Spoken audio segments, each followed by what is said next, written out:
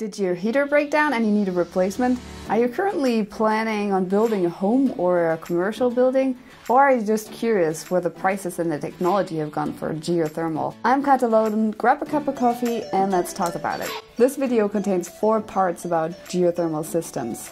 Facts and rules of thumb, my financial model, some practical tips and FAQs. Geothermal systems have one extremely outstanding advantage. You get 4 units of energy out for putting 1 unit of energy in.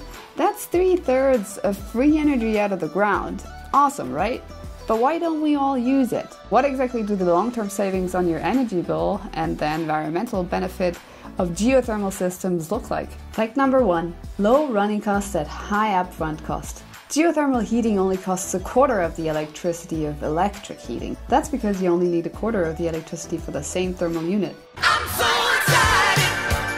In developed countries, there typically are incentives that help bring down the upfront cost. In the US, these incentives depend on the state the geothermal system is installed in. They are typically the same as for solar and wind. Germany even offers a reduced electricity price for geothermal heating. Germany's electricity prices are one of the highest in the world due to the tax burden of 45.5%. At the Geysers field in California, power is sold for 3 to 3.5 cents per kilowatt hour. A plant built today would probably require 5 cents per kilowatt hour. Some plants charge more during peak demand periods.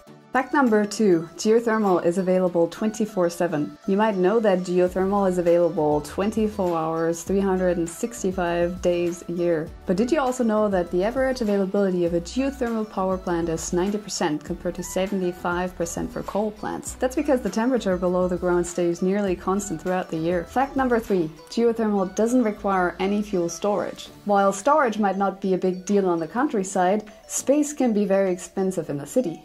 So, not requiring that additional space or removing the necessity to regularly refuel a tank can come in very handy. Fact number four, and this is more a rule of the thumb geothermal is more viable for new buildings rather than retrofits. That's a result of geothermal being heavily weighted to early expenses rather than the fuel to keep them running. The initial cost of a commercial field and power plant is $2.5 per installed watt. That's about the same as residential solar panel systems that are being professionally installed. Residential geothermal systems smaller than 1 megawatt are more like 3 to $5 per watt installed. The good news for retrofits is that you can use all existing heating systems. Fact number five geothermal is more viable for commercial and large residential rather than small buildings. That's also a result of the scalability due to the high fixed and the low running cost. As a rule of thumb, geothermal is viable for buildings larger than 2,000 square feet in the US. Fact number six geothermal is a growing market and new companies are emerging. Not only is the absolute amount of geothermal gigawatts installed increasing worldwide, but the relative market share of geothermal in the heating space is increasing. Now let me show you my financial model for geothermal heat pumps. The reason I came up with this model is that I found some calculators online, but I either didn't quite understand them or I was always missing a piece. Financial models can get quite complex and there are always variables that you don't know, for instance, the prices of the energy source in the future. And of course, there's also the time value of money and the opportunity cost you need to keep in mind for not investing the money elsewhere. I want to keep it simple and stick to the main drivers of the decision, so let's get started. This is the financial model to compare residential gas, electric, and geothermal heating. You can find the link to the model in the description below. Feel free to look at the formulas and replace the usage numbers with your own. In this case, the usage numbers are based on a 1300 square foot house in Colorado Springs, but you can replace them with your individual usage numbers. Let's look at the results and then reverse engineer how to get there. We have a break even of 10.6 years for the electric heating with electricity from a solar panel system, and the break even for geothermal heating with electricity from a solar panel system is 12.3 years. So, how did we get there? The gas furnace replacement is pretty straightforward. A replacement would cost about $5,000, and the annual gas bill with the new furnace would be $571. For electric heating with electricity from a solar panel system, there are two upfront costs. It's the electric heating units and the cost of the solar panel system. There's a tax credit of 26%, which is the same for the geothermal heating, and comes down to $12,440. And the total cost after the tax credit is $37,874. The break even time is then calculated by dividing the total cost after the tax credit by the electricity cost for electric heating. And the electricity cost for electric heating is the sum of the monthly expenses.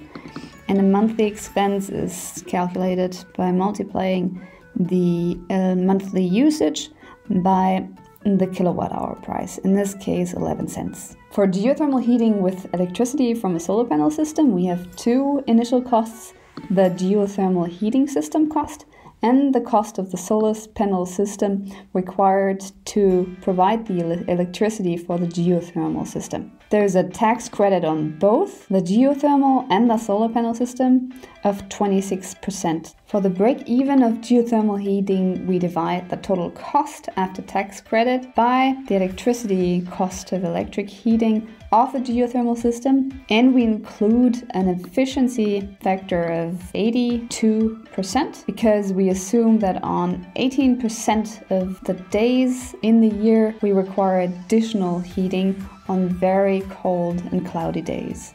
So, how can we make a decision based on these numbers? The gas furnace looks very attractive in terms of the low initial cost. However, we don't want to keep paying our bills without any break even, without any amortization of initial upfront costs. So that's why I'd recommend an electric heating with solar panel systems or geothermal heating with electricity from a solar panel system. Based on these break-even times, the electric heating with electricity from a solar panel system looks more attractive than the geothermal heating. However, we should consider replacement costs. Electric heating with electricity from a solar panel system has the advantage of solid state, so you don't have moving parts like a pump. However, as mentioned earlier on, the smooth temperatures underground are very easy on the compressor, and the geothermal loops underground can last much more than 50 years. So that's the financial model. Feel free to check it out. And as mentioned before, this is very simplified. If you'd like a version that takes into account the variation of future energy prices or the time value of money and the opportunity cost, feel free to reach out. I do have more complex financial models, but they are beyond the scope of this video. If you're looking into buying a heat pump, then the following practical tips might be very useful.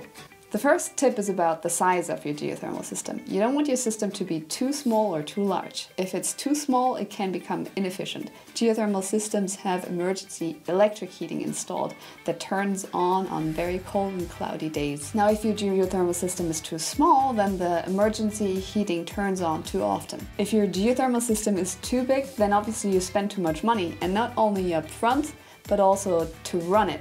So work with a trustworthy HVAC contractor to make sure that the system is designed to your home size. For even more savings on your electricity bill, look for heat pumps that carry the Energy Star certification. Tip number two, apply for incentives. State and federal government agencies offer numerous grants, rebates, and tax credits. When applicable, these federal and state incentives can slash your initial costs significantly.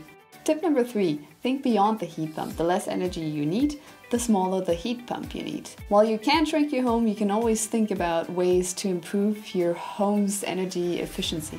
Tip number four, get quotes. Geothermal heat pump installation is far beyond even skilled do-it-yourself homeowners. Solicit multiple quotes to get a better understanding of the range of prices in your area. Many installers have relationships with different subcontractors. Drilling is typically done by another company than the company installing the heat pump. Their deals and contracts can lead to cost savings passed down to you. Now let's look at the FAQs. You will find that some of the questions we already touched upon. Question number one, what does it cost to develop a geothermal system? The initial cost of a commercial geothermal system is about $2.5 per watt. Residential geothermal systems are 3 to $5 per watt. Operating and maintenance costs range from 1 to 3 cents per kilowatt hour. Most geothermal power plants can run at greater than 90% availability. FAQ number 2. What are the benefits of using geothermal heating? I think we covered most of them in this video. First, geothermal has low operational and maintenance cost. Second, it's a clean energy source, considering that it only needs a quarter of the electricity compared to electric heating. Third, it's available 24 7, 365 days a year. And finally, it's homegrown, reducing the dependence on foreign oil. Question number three How long do geothermal systems last?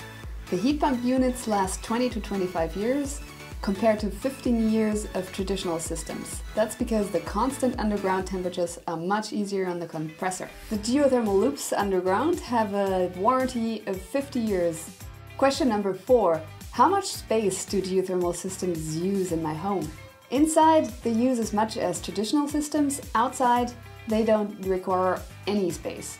No fuel storage, no noisy air conditioning, nothing. Question number five Would extreme temperatures affect my geothermal system? No, because the underground temperature it's exposed to is constant at about 55 degrees Fahrenheit. And question number six Where is geothermal energy available? Earth energy can be tapped into almost anywhere with geothermal heat pumps. It is even more effective at reservoirs of steam and hot water. Let me know what your thoughts are on geothermal energy, and if you got value out of this, I'd very much appreciate if you could leave a like below the video. And I'll see you in the next video. Bye bye!